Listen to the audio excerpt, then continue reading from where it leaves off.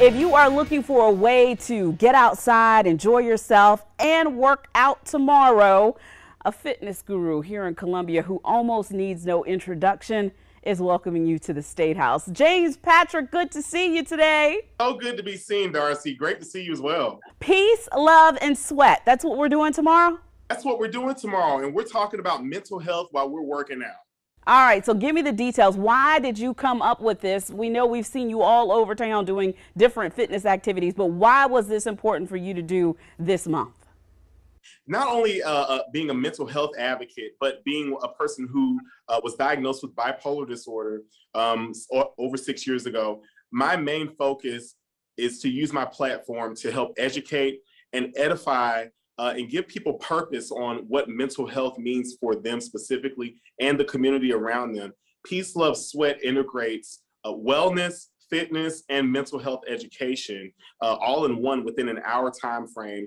And I thought that it would be most befitting because it is Minority Mental Health Month, but mental health matters all around the year, all throughout the year. So it's not just important in July, but I thought that it would be great just to home in on on this month.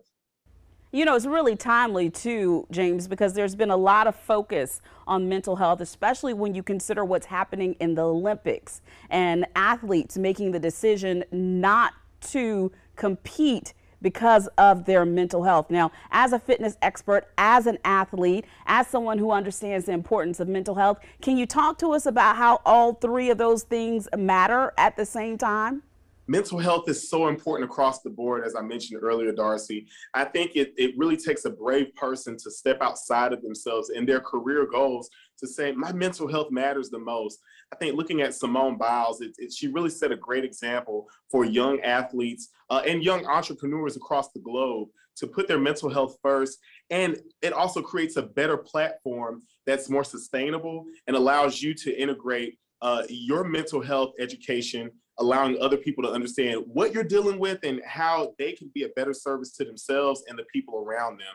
So, mental health, wellness, fitness, athleticism are all interdigitated. And it's so important that people take the time to actually understand that. And I'm so glad it's happening right now. All right, James, let's go over the details one more time about tomorrow. Yes, Peace, Love, Sweat tomorrow, State House Steps, 9 a.m. to 11 a.m. Who's going to be there? Me, you, your mama, and them, everybody and we're going to have a great time. We've got an amazing lineup for you guys, so please be sure to be there. All right, James, we can't be there tomorrow. Where else can we find you? I'm sure there's some viewers right now who are saying, I think I like that guy. I may be looking to him to be my trainer. Listen, come on over, 5301 Forest Drive, James Patrick Fitness and Wellness. Uh, we cater to your fitness and wellness needs, post rehabilitative therapy. Find us on Facebook, James Patrick Fitness and Wellness, as well as Instagram. James Patrick, your fitness guru. Thanks for joining us today, James.